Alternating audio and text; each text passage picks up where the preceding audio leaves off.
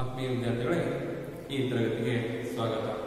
ನಾವು ಕಳೆದ ತರಗತಿಯಲ್ಲಿ ಪತ್ರಲೇಖನ ಎಂಬ ವಿಷಯದ ಕುರಿತು ತಿಳ್ಕೊಳ್ಳುತ್ತಾ, ಅದಕ್ಕೆ ಉದಾಹರಣೆ ಆಗಿರ್ತಕ್ಕಂತಹ ನಿಮ್ಮ ಪಠ್ಯ ಪುಸ್ತಕದ ತಾಯಿ ಒಂದು ಪತ್ರ ಎಂಬ ಒಂದು ಪಾಠವನ್ನು ತಿಳ್ಕೊಳ್ತಾ ಇದ್ವಿ ಮತ್ತು ಅಧ್ಯಯನವನ್ನು ಮಾಡ್ಕೊಳ್ತಾ ಇದ್ವಿ. ಅಲ್ವಾ?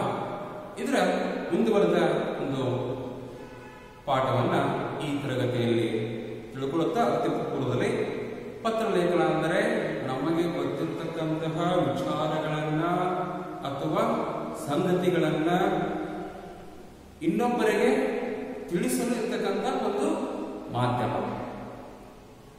ಅಲ್ವಾ? ಹಲವಾರು ಮಾಧ್ಯಮಗಳಿದ್ದಾವೆ ಈಗ ನೋಡಿದ್ರೆ ಫೋನ್ಗಳಿವೆ, ಇಂಟರ್ನೆಟ್ ಇವೆ, ಟಿವಿ ಇದಾವೆ ಪತ್ರಿಕೆಗಳಿದಾವೆ, ಹೀಗೆ ಹಲವಾರು ಸಾಮೂಹಿಕ ಮಾಧ್ಯಮಗಳ ಜೊತೆಗೆ ಇರ್ತಕ್ಕಂತಹ ಒಂದು ಮಾಧ್ಯಮ ಈ ಪತ್ರ ಲೇಖನ. ಈ ಪತ್ರ ಲೇಖನದ ಮೂಲಕ ನಮಗೆ ಗೊತ್ತಿರ್ತಕ್ಕಂತಹ ವಿಚಾರಗಳನ್ನ ನಮ್ಮ ಸಂಬಂಧಿಕರಾಗಿರ್ಬೋದು ನಮ್ಮ ಸ್ನೇಹಿತರಾಗಿರ್ಬೋದು ಅಥವಾ ನಮ್ಮ ಹಿತೇಶರಾಗಿರ್ಬೋದು ಅಥವಾ ಬೇರೆ ಇರೋರಾಗಿರ್ಬೋದು ವಿಷಯವನ್ನು ತಿಳಿಸ್ಬೋದು ಆ, ವಿನಿಮಯ ಮಾಡ್ಕೊಳ್ಬಹುದು ಅವರ ವಿಷಯ ನಾವು ನಾವು ತಿಳ್ಕೊಳ್ಬಹುದು ಹೀಗೆ ಒಂದು ಉತ್ತಮ ಬರವಣಿಗೆಯ ರೂಪದಲ್ಲಿರ್ತಕ್ಕಂಥ ಒಂದು ಮಾಧ್ಯಮ ಅಂತ ಇದನ್ನು ನಾವು ಕರೆಯಬಹುದು. ಪತ್ರಲೇಖನದ ಮುಂದಿನ ಒಂದು ವಿಚಾರಗಳನ್ನ ಈಗ ತಿಳ್ಕೊಳ್ತಾ ಹೋಗೋಣ. ಮುಂದಿನ ಒಂದು ಪಾಠ ಹೀಗಿರುತ್ತೆ? ದಸರೆ ಮುಗಿದ ಮರುದಿನ ಚಾಮುಂಡಿ ಬೆಟ್ಟಕ್ಕೆ ಹೋಗಿ ದೇವಿಗೆ ಪೂಜೆ ಮಾಡಿಸಿದೆವು. ಅಜ್ಜಿ ನನಗೆ ಮತ್ತು ಧನುಷ್ಗೆ ಆಟದ ಸಾಮಾನು ಕೊಡಿಸಿದರು. ತೇಜಸ್ವಿ ಅಕ್ಕನಿಗೆ ಸರ ಪಡೆ ಕೊಡಿಸಿದರು ಅಲ್ಲಿಂದ ನಗರ ಸಾರಿಗೆ ಬಸ್ ಹತ್ತಿ ಪ್ರಾಣಿ ಸಂಗ್ರಹಾಲಯಕ್ಕೆ ಬಂದೆವು. ಶ್ರೀ ಜಯಚಾಮರಾಜೇಂದ್ರ ಮೃಗಾಲಯದಲ್ಲಿ ವಿವಿಧ ರೀತಿಯ ಪಕ್ಷಿಗಳನ್ನು ನೋಡಿದೆವು. ಬಣ್ಣ ಬಣ್ಣದ ಹಕ್ಕಿಗಳು ಅವುಗಳ ಚುಂ ಚುಂ ಧ್ವನಿ ಕೇಳಲು ಸುಮಧುರವಾಗಿತ್ತು. ಅಲ್ಲಿಂದ ಮುಂದೆ ಕೆಂಪು ಮತ್ತು ಕಪ್ಪು ಮುಖದ ಕೋತಿಗಳನ್ನು ಕಂಡೆವು. ಧನುಷ್ ಅವುಗಳಿಗೆ ತಿಂಡಿ ಪದಾರ್ಥ ಕೊಡುವುದನ್ನು ನೋಡಿದ ಕಾವಲಗಾರ ಹಾಗೆ ಮಾಡಬಾರದು ಎಂದನು. ಅಲ್ಲಲ್ಲಿ ಬಲಗ ಹಾಕಿರುವ ಮುಟ್ಟಬೇಡಿ ಪ್ರಾಣಿಗಳಿಗೆ ತಿಂಡಿ ಪದಾರ್ಥ ಕೊಡಬೇಡಿ ಎಂಬ ಸೂಚನಾ ಫಲಕ ಫಲಕಗಳನ್ನು ನೋಡಿ ಎಂದು ತೋರಿಸಿದನು. ಅದೇ ಸಮಯದಲ್ಲಿ ಸಿಂಹ ಗರ್ಜಿಸಿ ನಮ್ಮನ್ನು ಆ ಕಡೆಗೆ ಸೆಳೆಯಿತು. ಮಾವನವರು ಗಲಾಟೆ ಮಾಡ ಮಾಡದೆ ಮೌನವಾಗಿ ಬನ್ನಿ ಎಂದರು.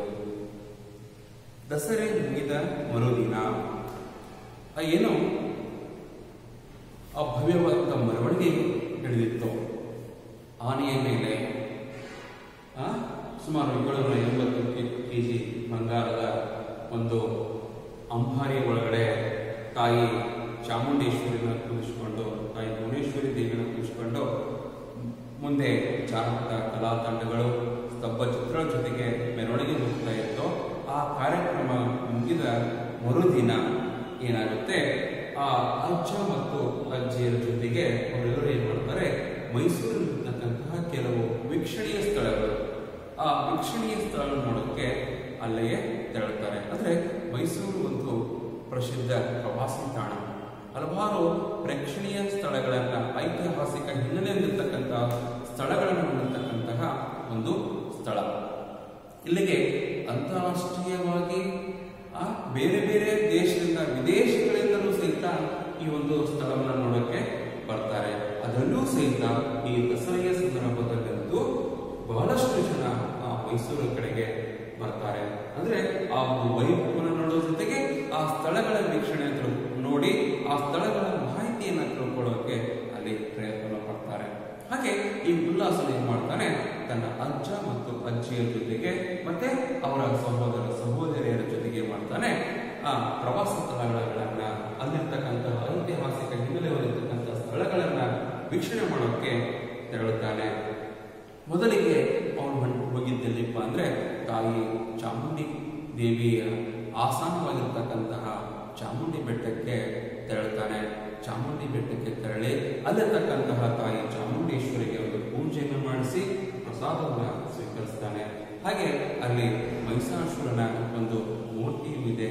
ಅದನ್ನು ಸೇರಿ ನೋಡ್ಕೊಳ್ತಾನೆ. ಅಷ್ಟೇ ಅಲ್ಲ, ಆ ಬೆಟ್ಟವನ್ನು ಹತ್ತುವಾಗ ನಂದಿ, ಅಂದ್ರೆ ಬಸವಣ್ಣ ಬೇರೆ ಆ ನಂದಿ ಬೆಟ್ಟ ಇದೆ, ಆ ಬೆಟ್ಟದಲ್ಲಿ ನಂದೀಶ ಅಥವಾ, ಆ ಏನೋ ಎತ್ತು ಅಂತ ಕರಿತೇವೋ ಅಥವಾ, ಆ ಒಂದು ಮೂರ್ತಿಯು ಸಹಿತ, ನಂದೀಶನ ಮೂರ್ತಿಯು ಸಹಿತ ಅಲ್ಲಿ ಇರ್ತಕ್ಕಂಥದ್ದು. ಅದನ್ನು ನೋಡ್ಕೊಂಡು ಏನ್ ಮಾಡ್ತಾನೆ ಅವನು ಬರ್ತಾರೆ. ಅಲ್ಲಿ ಅಲ್ಲಿ ಏನ್ ಮಾಡ್ತಾರೆ? ಅವರ ಅಜ್ಜ, ಅಜ್ಜಿ ಧನುಷನಿಗೆ ಮತ್ತೆ ಆ ಉಲ್ಲಾಸನಿಗೆ ಧನುಷನಿಗೆ ಮತ್ತೆ ತೇಜಸ್ವಿನಿಗೆ ಆಟ ಸಾಮಾನುಗಳು, ಸರಗಳು, ಅಂದ್ರೆ ತೇಜಸ್ವಿನಿಗೆ ಸರ ಬಳೆಗಳನ್ನ ಅಜ್ಜಿ ಕೊಡಿಸ್ತಾರೆ. ನಂತರದಲ್ಲಿ ನಗರದಲ್ಲಿ ಸಂಚಾರ ಮಾಡಲು ಉಪಯುಕ್ತವಾಗುವ ರೀತಿಯಲ್ಲಿ ಅಲ್ಲಿ ಒಂದು ಸಾರಿಗೆ ವ್ಯವಸ್ಥೆ ಇದೆ ನಗರ ಸಾರಿಗೆ ವ್ಯವಸ್ಥೆ ಅಂದ್ರೆ ದೊಡ್ಡ ದೊಡ್ಡ ನಗರಗಳಲ್ಲಿ ಆ, ಏನಾಗುತ್ತೆ ಅಲ್ಲಿ ಜನರು ಸುಲಭವಾಗಿ ಸಂಚರಿಸುವ ಉದ್ದೇಶದಿಂದ ಏನ್ ಮಾಡ್ತಾರೆ ಅಂದ್ರೆ ಈ ನಗರ ಸಾರಿಗೆ ವ್ಯವಸ್ಥೆಯನ್ನ ಅಲ್ಲಿ ಇರುತ್ತೆ. ಆ ನಗರ ಸಾರಿಗೆ ವ್ಯವಸ್ಥೆಯನ್ನು ಬಳಸಿಕೊಂಡು ಅವ್ರಿಗೆ ಬೇಕಾದಂಥ ಸ್ಥಳಗಳಿಗೆ ಆಯಾವು ಸ್ಥಳಕ್ಕೆ ಸಂಚರಿಸ್ತಕ್ಕಂತಹ ಬಸ್ಗಳಲ್ಲಿ ಅವರು ಪ್ರಯಾಣ ಮಾಡಬಹುದು ಉದಾಹರಣೆಗೆ ನೀವು ಇಲ್ಲೇ ಶಿವಮೊಗ್ಗಕ್ಕೆ ಹೋದ್ರೂ ಸಹಿತ ಅಲ್ಲಿ ನಗರ ಸಾರಿಗೆ ವ್ಯವಸ್ಥೆ ಇರತಕ್ಕಂಥದ್ದು. ಇನ್ನು ಬೆಂಗಳೂರಿಗೆ ಅಂತ ಹೋದ್ರೆ ಅಲ್ಲಿ ನಗರ ಸಾರಿಗೆಯ ಬಸ್ಗಳ ಜೊತೆಗೆ ಮೆಟ್ರೋ ವ್ಯವಸ್ಥೆ, ಮೆಟ್ರೋ ಟ್ರೈನ್ ವ್ಯವಸ್ಥೆನೂ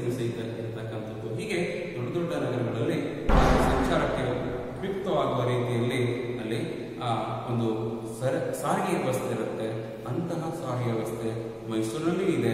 ಆ ಮೈಸೂರಲ್ಲಿ ಇರ್ತಕ್ಕಂಥ ನಗರ ಸಾರಿಗೆ ವ್ಯವಸ್ಥೆ ಬಸ್ಸಲ್ಲಿ ಮಾಡ್ತಾರೆ. ಚಾಮುಂಡಿ ಬೆಟ್ಟದಿಂದ ಇವರು ನಂತರದಲ್ಲಿ ಅಲ್ಲಿರ್ತಕ್ಕಂತಹ ಪ್ರಾಣಿ ಸಂಗ್ರಹಾಲಯ ಅಥವಾ ಮೃಗಾಲಯ ಅಂತ ಏನು ಕರಿತೇವೋ, ಅಂದ್ರೆ ಮೃಗಾಲಯ ಅಂದ್ರೆ ಪ್ರಾಣಿ, ಪಕ್ಷಿ ಮತ್ತು ಜಲಚರಗಳನ್ನ ಪ್ರದರ್ಶನಕ್ಕಾಗಿ ಕೂಡಿ, ಕೂಡಿಟ್ಟಿರ್ತಕ್ಕಂತಹ, ಪ್ರದರ್ಶನಕ್ಕಾಗಿ ಇಟ್ಟಿರ್ತಕ್ಕಂತಹ ಒಂದು ಸ್ಥಳ. ಕಳೆದ ಒಂದು ತರಗತಿಯಲ್ಲಿ ನೀವು ಮೃಗಾಲಯದಲ್ಲಿ ಒಂದು ದಿನ ಎಂಬ ಒಂದು ಪಾಠದಲ್ಲಿ ಈ ಮೃಗಾಲಯದಲ್ಲಿ ಹೇಗೆ ವ್ಯವಸ್ಥೆ ಇರುತ್ತೆ ಅನ್ನೋದನ್ನು ಈಗಾಗಲೇ ತಿಳ್ಕೊಂಡಿದ್ದೀರಾ ಮಕ್ಕಳೇ? ಅದೇ ಮೃಗಾಲಯಕ್ಕೆ ಅವರು ತಳ್ತಾರೆ ಮೈಸೂರಲ್ಲಿರ್ತಕ್ಕಂಥ ಮೃಗಾಲಯ ಯಾವುದಪ್ಪ ಅಂದ್ರೆ ಶ್ರೀ ಜಯ ಚಾಮರಾಜೇಂದ್ರ ಮೃಗಾಲಯ. ಇವರು ಮೈಸೂರು ಒಡೆಯರ ಆಸ್ಥಾನದ ಒಬ್ಬ ರಾಜರಾಗಿದ್ದರು ಅವರ ಹೆಸರಿಂದ ಅಂದ್ರೆ ಅವರ ಸ್ಥಾಪನೆ ಇರತಕ್ಕಂತಹ ಒಂದು ಮೃಗಾಲಯಕ್ಕೆ ಆ ಜಯ ಚಾಮರಾಜೇಂದ್ರ ಮೃಗಾಲಯ ಎಂಬ ಹೆಸರನ್ನ ಇಟ್ಟಿದ್ದಾರೆ. ಅಲ್ಲಿ ಮೃಗಾಲಯ ಅಂದ್ರೆ ಹೇಳಿದ ಹಾಗೆ ಪ್ರಾಣಿ, ಪಕ್ಷಿ, ಜಲಚರಗಳ ಒಂದು ಬೀಡು ಸ್ಥಳ, ಇರ್ತಕ್ಕಂಥ ಒಂದು ಸ್ಥಳ ಕೂಡಿಟ್ಟಿರ್ತಕ್ಕಂತಹ ಒಂದು ಸ್ಥಳ.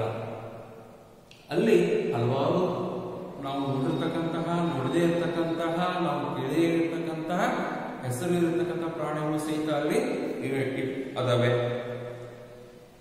ಇವರು ಆ ಮೊದಲಿಗೆ ಜಯಚಾಮರಾಜೇಂದ್ರ ಮೃಗಾಲಯಕ್ಕೆ ಭೇಟಿ ಕೊಟ್ಟ ತಕ್ಷಣ ಹಲವಾರು ಪಕ್ಷಿಗಳ ಒಂದು ದರ್ಶನ ಆಗುತ್ತೆ. ಆ ಪಕ್ಷಿಗಳ ಕೂಗುಕಿಯ ಧ್ವನಿ ಇವರನ್ನ ಸ್ವಾಗತವನ್ನ ಮಾಡುತ್ತವೆ.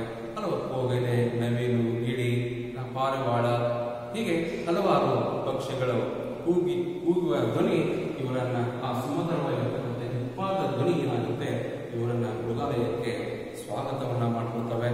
ಅಷ್ಟೇ ಅಲ್ಲ, ಅಲ್ಲಿಯ ಬಣ್ಣ ಬಣ್ಣದ ಪಕ್ಷಿಗಳು ಚುಂ ಚುಂ ಎಂಬ ಒಂದು ಧ್ವನಿ ಇವರಿಗೆ ಇಂಪಾಗಿ, ಸಮುದ್ರವಾಗಿ ಕೇಳಿಸುತ್ತೆ. ಮುಂದೆ ಅಲ್ಲಿಂದ ಕಪ್ಪು ಮತ್ತು ಕೆಂಪು ಮುಖದ ಕೋತಿಗಳು ಇವರಿಗೆ ದರ್ಶನವಾಗುತ್ತವೆ. ಆ ಕೋತಿಗಳಿಗೆ ಈ ಧನುಷ್ ಅವಂತಹ ತಿಂಡಿ ಪದಾರ್ಥಗಳನ್ನ ಕೊಡೋಕೆ ಪ್ರಯತ್ನ ಮಾಡ್ತಾನೆ. ಆದರೆ ಅಲ್ಲಿರ್ತಕ್ಕಂತಹ ಕಾವಲುಗಾರ ಸಹಾಯಕ ಆದ್ರಿಂದ ಆ ತಿಂಡಿ ಕೊಡುವನ್ನು ನಿಲ್ಲಿಸ್ತರಿಯುತ್ತಾನೆ ಯಾಕಂದ್ರೆ ನೀವಾಗಲೇ ಮೃಗಾಲಯದಲ್ಲಿ ಒಂದು ದಿನ ತಿಳ್ಕೊಂಡಿದ್ದೀರಾ ನಾವು ಅದಕ್ಕೆ ಆಹಾರವನ್ನು ನಾವು ಕೊಡಬಾರದು ಏಕೆಂದರೆ ಈಗಾಗಲೇ ಅಲ್ಲಿರ್ತಕ್ಕಂತಹ ಕಾವಲುಗಾರರು ಸಹಾಯಕರು ಆ ಪ್ರಾಣಿಗಳಿಗೆ ಬೇಕಾದಂತಹ ಸಾಕಷ್ಟು ಆಹಾರವನ್ನು ಸಮಯಕ್ಕೆ ಸರಿಯಾಗಿರೋಕ್ಕೆ ನೀಡಿರುತ್ತಾರೆ. ಒಂದು, ಇನ್ನೊಂದು ನಾವು ಕೊಟ್ಟಂತಹ ಆಹಾರ ಕೊಟ್ಟಾಗ ಅವು ಅವುಗಳು ತಿಂದು ಅವುಗಳ ಆರೋಗ್ಯ ಕೆಡಬಹುದು ಮತ್ತೆ ಇಲ್ಲಪ್ಪ ಅಂದ್ರೆ ಆ ಪ್ರಾಣಿಗಳಿಂದ ಅಥವಾ ಪಕ್ಷಿಗಳಿಂದ ನಮಗೆ ತೊಂದರೆ ಆಗಬಹುದು ಉದಾಹರಣೆಗೆ ಸಿಂಹ, ಹುಲಿ ಚಿರತೆ, ಇಂತಹ ಪ್ರಾಣಿಗಳಿಂದ ನಮಗೆ ತೊಂದರೆಯೂ ಸಹಿತ ಆಗ್ಬೋದು. ಇವುಗಳಿಂದ ನಮಗೆ ತೊಂದರೆ ಆಗ್ಬೋದು. ಹಾಗಾಗಿ ನಾವು ಅಲ್ಲಿ ಆ, ಯಾವುದೇ ಪ್ರಾಣಿ ಪಕ್ಷಿಗಳ ಸಮೀಪ ಹೋಗಬಾರ್ದು. ಅವರ ಮುಖ ಪ್ರಯತ್ನ, ಹಾಗೆ ತಿಂಡಿ ತಿನಿಸುಗಳನ್ನು ಕೊಡತಕ್ಕಂಥ ಪ್ರಯತ್ನವನ್ನ ಮಾಡಬಾರದು. ದೂರದಿಂದ ನಿಂತು ನೋಡಿ ಖುಷಿ ಪಟ್ಟು ನಾವು ಬರಬೇಕು. ಅದಕ್ಕೆ ಅಲ್ಲಿ ಕಾವಲುಗಾರ ಹೇಳ್ತಾನೆ, ನೋಡಿ ಅದನ್ನು ಮುಟ್ಟಬೇಡಿ ಪ್ರಾಣಿಗಳಿಗೆ ತಿಂಡಿಯನ್ನು ಕೊಡಬೇಡಿ ಎಂಬ ಒಂದು ಸೂಚನಾ ಫಲಕ ಇದೆ. ಸೂಚನಾ ಫಲಕ ಅಂದ್ರೆ ಏನು ಮಕ್ಕಳೇ? ಒಂದು ತರಗತಿ ತಿಳ್ಕೊಂಡಿದ್ದೀರಾ? ಸೂಚನೆಗಳನ್ನ ಒಳಗಡಿರ್ತಕ್ಕಂತಹ ಫಲಕಗಳು. ಅಲ್ಲಿ ಸೂಚನಾ ಫಲಕದಲ್ಲಿ ಇತ್ತು ಪ್ರಾಣಿಗಳಿಗೆ ತಿಂಡಿಯನ್ನು ಕೊಡಬೇಡಿ ಅಂತ ಬರೆದಿತ್ತು. ಮತ್ತೆ ಮುಟ್ಟಬೇಡಿ, ಪ್ರಾಣಿಗಳಿಗೆ ಹಿಂಸೆ ಮಾಡಬೇಡಿ ಎಂಬ ಸೂಚನಾ ಫಲಕ ಇತ್ತು ಅವನನ್ನ ತೋರಿಸಿದ್ರು ಆ ಕಾವಲುಗಾರ. ಅದೇ ಸಮಯದಲ್ಲಿ ಮಾಡುತ್ತೆ? ಒಂದು ಸಿಂಹ ಗರ್ಜಿಸುತ್ತೆ ತನ್ನ ಧ್ವನಿಯನ್ನ ಘರ್ಷಣೆ ಮಾಡುತ್ತೆ. ಗರ್ಜಿಸಿದ್ರೆ ಗಟ್ಟಿಯಾಗಿ ಕೂಗು. ಘರ್ಷಣೆಯನ್ನ ಮಾಡುತ್ತೆ? ಆ ಕಡೆಗೆ ಎಲ್ಲರನ್ನ ಆಕರ್ಷಿಸುವಾಗಿ ಸೆಳೆಯಾಗದೆ ಆಕರ್ಷಿಸುವ ಎಲ್ಲರನ್ನ ಕಲಿತಿರ್ತಕ್ಕಂಥ ಎಲ್ಲಾ ಪ್ರವಾಸಿಗರನ್ನ ತನ್ನ ಕಡೆಗೆ ತನ್ನ ಗರ್ಜಿಸುವ ಧ್ವನಿಯ ಮೂಲಕ ಗಟ್ಟಿ ಕೂಗುವ ಮೂಲಕ ಆ ಸಿಂಹ ತನ್ನ ಕಡೆಗೆ ಎಲ್ಲರ ಗಮನವನ್ನ ಸೆಳೆಯುತ್ತೆ, ಆಕರ್ಷಿಸುತ್ತೆ ಅಷ್ಟರ ಜೊತೆಗೆ ಈ ಉಲ್ಲಾಸ ಮತ್ತು ಧನುಷನ ಮಾವನವೇ ಮಾಡ್ತಾರೆ ನೋಡಿ ಗಲಾಟೆ ಮಾಡಬೇಡಿ ನಿಶಬ್ದವಾಗಿ ಬನ್ನಿ. ಗಲಾಟೆ ಮಾಡಿದರೆ ಪ್ರಾಣಿಗಳಿಗೆ ತೊಂದರೆ ಆಗುತ್ತೆ ಎಂಬ ಒಂದು ಮಾಹಿತಿಯನ್ನ ಅವರ ಮಾವನವರು ನೀಡ್ತಾರೆ. ಮುಂದೆ, ನಾವು ಶೇಂಗಾ ತಿನ್ನುತ್ತಾ ಒಂದು ಕಡೆಯಿಂದ ಆನೆ, ಜಿಂಕೆ ಜಿಂಕೆ ಹಿಂಡು, ಹುಲೆ, ಚಿರತೆ, ಸಿಂಹ, ಗಿಂಡ ಮೃಗ ನೋಡಿ ಖುಷಿಪಟ್ಟೆವು. ಪಕ್ಕದ ಮರದ ಕೊಂಬೆಯ ಮೇಲೆ ಕಾಡು ಮನುಷ್ಯ ಮನುಷ್ಯ ನಮ್ಮ ಹಾಗೆ ನಡೆದಾಡುತ್ತಿತ್ತು. ಮುಂದೆ ಹಾವುಗಳ ಸಾಮ್ರಾಜ್ಯ, ಅಲ್ಲಿ ಕಾಳಿಂಗ ಸರ್ಪ ಹಾವು ಮುಂತಾದ ಬೇರೆ ಬೇರೆ ಜಾತಿಯ ಹಾವುಗಳನ್ನು ಕಂಡು ಮೈ ಝುಮ್ ಎಂದಿತು. ಈ ಹಾವುಗಳನ್ನು ಎಲ್ಲಿಂದ ತಂದಿದ್ದು ಎಂದಾಗ, ಅಲ್ಲಿದ್ದ ಕಾವಲುಗಾರ ಬಂಡೀಪುರದ ಕಾಡಿನಿಂದ ಎಂದನು. ಅಲ್ಲಿಂದ ಮುಂದೆ ಜಿರಾಪೆ ನೋಡಿದವು. ಅದು ತನ್ನ ಮನೆಗೆ ಆಗಮಿಸುತ್ತಿತ್ತು. ಜಿರಾಫೆಯ ಕತ್ತು ನೋಡಿ ಆಶ್ಚರ್ಯವಾಯಿತು. ಅಲ್ಲಿಯಿಂದ ವಸ್ತು ಸಂಗ್ರಹಾಲಯಕ್ಕೆ ಭೇಟಿ ನೀಡಿದವು ಅಲ್ಲಿದ್ದ ಪ್ರಾಣಿಗಳ ಮಾದರಿಗಳು ನಿಜವಾದ ಪ್ರಾಣಿಗಳೇ ಎಂಬಂತಿದ್ದವು. ಇವೆಲ್ಲವನ್ನು ನೋಡುವಷ್ಟರಲ್ಲಿ ಸಂಜೆ ಆಯಿತು ಆಮೇಲೆ ಅರಮನೆಯನ್ನು ನೋಡಿಕೊಂಡು ಊರಿಗೆ ಹಿಂದಿರುಗಿದವು. ಉಲ್ಲಾಸ್ ಮತ್ತು ಧನುಷ್, ತೇಜಸ್ವಿ ಹಾಗೂ ಅಜ್ಜ ಅಜ್ಜ ಏನೋ ಮೃಗಾಲಯ ಸಂಚರಿಸ್ತಾ ಇರುವಾಗ ತಾವು ತಮ್ಮ ಶೃಂಗಾರಗಳನ್ನು ತೋರಿಸ್ತಾ ತೆಗೆದುಕೊಳ್ಳತಕ್ಕಂಥ ಶೃಂಗಾರಗಳನ್ನ ತಿನ್ನುತ್ತಾ ಅಲ್ಲಿ ನೋಡ್ತಾ ಮೃಗಾಲಯ ನೋಡ್ತಾ ಹೋದರು. ಇವರ ಕಣ್ಣಿಗೆ ಆನೆಗಳು ಕಣ್ಣು ಜಿಂಕೆಗಳ ಹೆಣ್ಣು ಕಣ್ಣು ಹುಲಿ, ಸಿಂಹ ಚಿರತೆ, ಹಲವಾರು ಪ್ರಾಣಿಗಳು ಸಹಿತ ಕಂಡು ಅಷ್ಟೇ ಜೊತೆಗೇನೆ ಮರದ ಮೇಲೆ ನಮ್ಮ ಹಾಗೆ ಹೋರಾಡ್ತಕ್ಕಂಥ ಕಾಡು ಮನುಷ್ಯ ಆ ಆ ಪ್ರಾಣಿ ಒಂದಿತ್ತು ಅದು ಸಹಿತ ಅಲ್ಲಿ ಮರದ ಮೇಲೆ ಓಡಾಡ್ತಾ ಇತ್ತು. ಅದನ್ನು ನೋಡಿದ್ರು. ಅದ್ರ ಜೊತೆಗೇನೆ ಅಲ್ಲಿರ್ತಕ್ಕಂತಹ ಹಾವುಗಳು ಸರ್ಪಗಳನ್ನು ಸಹಿತ ನೋಡ್ತಾರೆ. ಅಲ್ಲಿ ಹಲವಾರು ಜಾತಿಯ ಹಾವುಗಳು ಆ, ಹೆಬ್ಬಾವು ಆಗಿರ್ಬೋದು ನಾಗರಹಾವು ಆಗಿರ್ಬೋದು ಕಾಳಿಂಗ ಸರ್ಪ ಆಗಿರ್ಬೋದು ಆನೆಕೊಂಡ ಹಾವು ಆಗಿರ್ಬೋದು. ಹೀಗೆ ಬೇರೆ ಬೇರೆ ಜಾತಿಯ ಬೇರೆ ಬೇರೆ ಆ ಹಾವುಗಳನ್ನ ಅಲ್ಲಿ ಅವರು ನೋಡ್ತಾರೆ. ನೋಡ್ಕೊಂಡು ಹಾಗೆ ಮುಂದೆ ಹೋಗ್ತಾ ಇರುವಾಗ ದೊಡ್ಡ ಕುತ್ತಿಗೆ ಹೊಂದಿರತಕ್ಕಂಥ ಜಿರಾಫೆ ಅವರಿಗೆ ಕಾಣಿಸುತ್ತೆ. ಆ ಜಿರಾಫೆ ಮುಂದೆ ತನ್ನ ಮರಿಗೆ ಹಾಲನ್ನು ಉಣಿಸ್ತಾ ಇರ್ತಕ್ಕಂಥ ಚಿತ್ರ ಇವರಿಗೆ ಕಾಣಿಸುತ್ತೆ. ಆ ಜಿರಾಫೆಯ ಕತ್ತು ಉದ್ದವಾದಂತಹ ಕತ್ತನ್ನು ನೋಡಿ ಇವರಿಗೆ ಆಶ್ಚರ್ಯವಾಗುತ್ತೆ. ಕುತೂಹಲ ಆಗುತ್ತೆ ಏನು ಇಷ್ಟು ಉದ್ದ ಇದೆ ಕತ್ತು ಅನ್ನೋ ಒಂದು ಆಲೋಚನೆ ಅವರಲ್ಲಿ ಬರುತ್ತೆ. ಹೀಗೆ ಅವರು ನೋಡ್ತಾ ಇರುವಾಗ ಆ ಹಾವುಗಳ ಬಗ್ಗೆ ತಿಳ್ಕೊಳ್ಳೋಕೆ ಪ್ರಯತ್ನ ಪಡ್ತಾರೆ. ಈ ಹಾವುಗಳು ಏನಿರುತ್ತೆ ತಂದ್ರಿ? ಇಲ್ಲಿಗೆ ಹೇಗೆ ಬಂತು? ಅಲ್ಲಿ ಕಾವಲುಗಾರ ಕೇಳಿದಾಗ ಬಂಡೀಪುರ ಅಭಯಾರಣ್ಯ ಮೈಸೂರು ಮತ್ತು ಊಟಿ ಮಧ್ಯದಲ್ಲಿ ಆ, ಬರ್ತಕ್ಕಂಥ ಒಂದು ಬೃಹದಾಕಾರವಾಗಿರ್ತಕ್ಕಂಥ ಅಭಯಾರಣ್ಯ.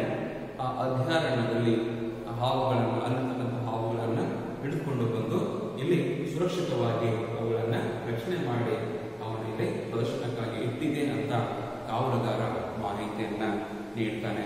ಅದ್ರ ಜೊತೆಗೇನೆ ಮುಂದೆ ಅಲ್ಲಿರ್ತಕ್ಕಂಥ ವಸ್ತು ಸಂಗ್ರಹಾಲಯ ಅಂದ್ರೆ ನಮ್ಮಿಂದ ಕಣ್ಮರೆಯಾಗಿರ್ತಕ್ಕಂತಹ ಮತ್ತೆ ನಮಗೆ ನೋಡಲು ಕುತೂಹಲಕವಾಗಿರ್ತಕ್ಕಂತಹ ಮತ್ತೆ ಐತಿಹಾಸಿಕ ಹಿನ್ನೆಲೆ ಪೌರಾಣಿಕ ಹಿನ್ನೆಲೆ ಆ, ಹೊಂದಿರತಕ್ಕಂತಹ ಕೆಲವು ವಸ್ತುಗಳನ್ನ ಪ್ರದರ್ಶನಕ್ಕಾಗಿ ಇಟ್ಟಿರ್ತಕ್ಕಂಥದ್ದು. ಅವು ನಮಗೆ ಸಿಗೋದಲ್ಲ ನೋಡಕ್ಕೆ. ಅಂತಹ ವಸ್ತುಗಳನ್ನೇ ನೋಡಿ ನಾವು ತಿಳ್ಕೊಳ್ಬಹುದು. ಇದು ಹೀಗಿಂತ ಅಥವಾ ನಮ್ಮಿಂದ ಕಣ್ಮರೆಯಾಗಿರ್ತಕ್ಕಂಥ ಹಲವಾರು ಪ್ರಾಣಿ ಪಕ್ಷಿಗಳ ಸ್ತಬ್ಧ ಚಿತ್ರಗಳಾಗಿರ್ಬೋದು ಚಿತ್ರಗಳಿರ್ಬೋದು ಪ್ರದರ್ಶನ ಕೈ ಇರ್ತಕ್ಕಂಥ ಸ್ಥಳ, ವಸ್ತುಗಳನ್ನ ಪ್ರದರ್ಶನ ಪ್ರದರ್ಶನ ಕೈ ಇರ್ತಕ್ಕಂಥ ಒಂದು ಸ್ಥಳ. ನಾವು ಇಂಗ್ಲಿಷ್ ಮ್ಯೂಸಿಯಂ ಅಂತ ಕರಿತೇವೆ. ಅಂತಹ ಮ್ಯೂಸಿಯಂ ವಸ್ತು ಪ್ರದರ್ಶನಕ್ಕೆ ಇವರು ತೆರಳ್ತಾರೆ ಅಲ್ಲಿ ಸಹಿತ ನೋಡ್ತಾರೆ.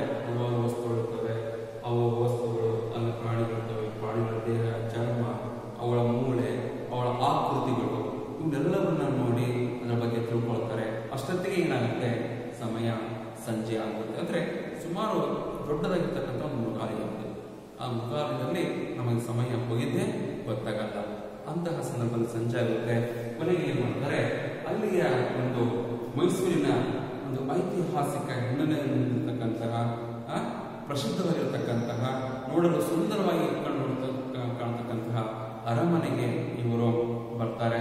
ಅರಮನೆಯನ್ನ ನೋಡಿಕೊಂಡು ಅಲ್ಲಿ ಸುತ್ತಿಯ ರಾತ್ರಿಯಾಗುತ್ತೆ ತಿರುಗಿ ಇವರು ನಮ್ಮ ಊರಿಗೆ ಹಿಂದಿರುತ್ತಾರೆ ಅಮ್ಮ, ಬಹಳ ಸಂತೋಷವಾಯಿತು ನಾನು ಊರಿಗೆ ಬಂದಾಗ ಮೈಸೂರಿಗೆ ಹೋಗೋಣ. ತುಂಬಾ ಖುಷಿಯಿಂದ ಈ ಕಾಗದ ಬರೆದು, ಬರೆಯುತ್ತೆ, ಬರುತ್ತು, ಬರೆದಿರುತ್ತೇನೆ. ಎಲ್ಲರಿಗೂ ನನ್ನ ನಮಸ್ಕಾರವನ್ನು ತಿಳಿಸಿ ಈ ನಿಮ್ಮ ಪ್ರೀತಿಯ ಮಗ ಉಲ್ಲಾಸ್ ಅಂತ ನಿಮ್ಮ ಪತ್ರವನ್ನ ಮುಗಿಸ್ತಾನೆ ಅಂದ್ರೆ ಈ ಪತ್ರವನ್ನು ಬರೆಯುವವರಿಗೆ ಬಹಳ ಸಂತೋಷವಾಯಿತು. ಅವರ ಹೆಸರು ಹಲವಾರು ವಿಷಯಗಳನ್ನು ತಿಳ್ಕೊಂಡು ನಿಮ್ಮ ಜೊತೆಗೆ ನಾನು ಹಂಚಿಕೊಂಡೆ. ನಾನು ಊರಿಗೆ ಬಂದಾಗ ಮತ್ತೆ ನಾವು ನೀವೆಲ್ಲರೂ ಸೇರಿಕೊಂಡು ಮತ್ತೊಮ್ಮೆ ಮೈಸೂರು ದರ್ಶನಕ್ಕೆ ಹೋಗೋಣ, ಮೈಸೂರು ಪ್ರವಾಸಕ್ಕೆ ಹೋಗೋಣ ಅಂತ ಇಲ್ಲಿ ಹೇಳುತ್ತಾ ನನಗೆ ತುಂಬಾ ಖುಷಿಯಿಂದ ಈ ಪಾಲವನ್ನು ಕಾಗದವನ್ನು ನಾನು ಬರೆದಿದ್ದೇನೆ ಈ ಪತ್ರವನ್ನು ಬರೆದಿದ್ದೇನೆ. ನಿಮ್ಮೆಲ್ಲರಿಗೂ ಮತ್ತೊಮ್ಮೆ ನಮಸ್ಕಾರ ತಿಳಿಸುತ್ತಾ ನಾನು ಪತ್ರವನ್ನು ಮುಗಿಸುತ್ತೇನೆ ಅಂತ ಉಲ್ಲಾಸ ಪತ್ರವನ್ನ ಮುಗಿಸ್ತಾರೆ. ಕೊನೆಗೆ ಕೊನೆಯ ಅಂಶ, ಪತ್ರದ ಒಳಗಿರತಕ್ಕಂಥ ಭಾಗಗಳಲ್ಲಿ, ಅಂಶಗಳಲ್ಲಿ, ಅಂಗಗಳಲ್ಲಿ ಕೊನೆಯನ್ನು ವಿಳಾಸ ವಿಳಾಸ ಬರ್ತಾರೆ ಇವರಿಗೆ ಶ್ರೀಮತಿ ಸಂಪಿಗೆ. ಕಸ್ತೂರಿ ನಿವಾಸ ಎಳಂದೂರು ತಾಲೂಕು. ಕಸ್ತೂರಿ ನಿವಾಸ ಅನ್ನೋದು ಮನೆಯದು. ಶ್ರೀಮತಿ ಸಂಪಿಗೆ ಅನ್ನೋದು ತಾಯಿ ಹೆಸರು ಹೀಗೆ ಎಳನೂರು ತಾಲೂಕು ಐದು, ಏಳು, ಒಂದು, ನಾಲ್ಕು ನಾಲ್ಕು, ಒಂದು. ಇದು ಆ ಎಳನೂರು ತಾಲೂಕಿನ ಬರ್ತಕ್ಕಂತಹ ಒಂದು ಅಂಚೆ ಕಚೇರಿಯ ಪಿನ್ ಕೋಡ್. ಆ ಒಂದು ಅಂಚೆ ಕಚೇರಿಯ ಒಂದು ನಂಬರ್.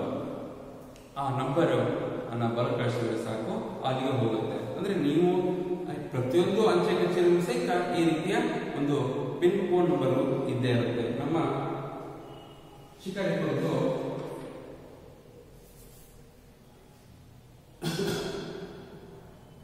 ಪಿನ್ ಕೋಡ್ ಸಹಿತ ಇದೆ. Five seven seven four two seven